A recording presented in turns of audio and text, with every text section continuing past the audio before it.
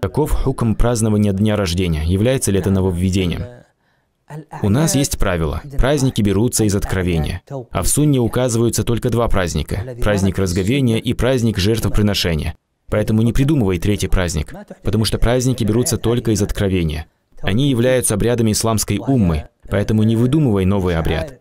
В чем определение праздника? Праздник – это возвеличивание какого-либо определенного промежутка времени ради самого этого времени. Допустим, какой-то человек родился первого числа первого месяца, После этого каждый раз, когда наступает первое число первого месяца, он возвеличивает это время, устраивая в нем праздник, собрание или даря подарки.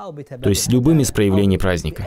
Когда человек возвеличивает его, это недозволено, потому что он возвеличивает определенное время само по себе.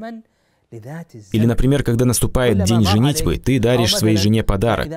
Это одна из разновидностей празднования этого дня, потому что ты выделил для этого определенное время. Понятно?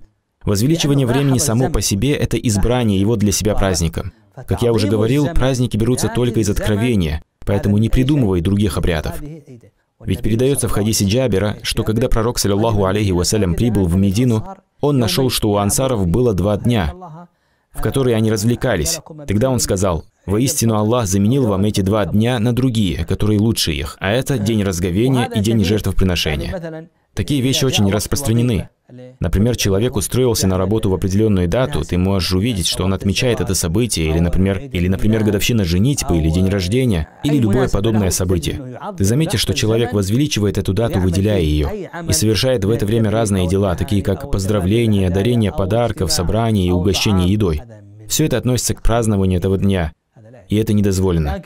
Однако, если человек не выделяет какое-то определенное время, Например, если человек закончил обучение, отметил это праздником и больше не повторяет его, или, например, если человек выучил Коран наизусть и устроил праздник, или устроился на работу и отметил это праздником один раз, больше не возвеличивая эту дату, когда она наступает, он устроил праздник по случаю какого-то события. В этом нет проблем, и это относится к дозволенному празднованию событий.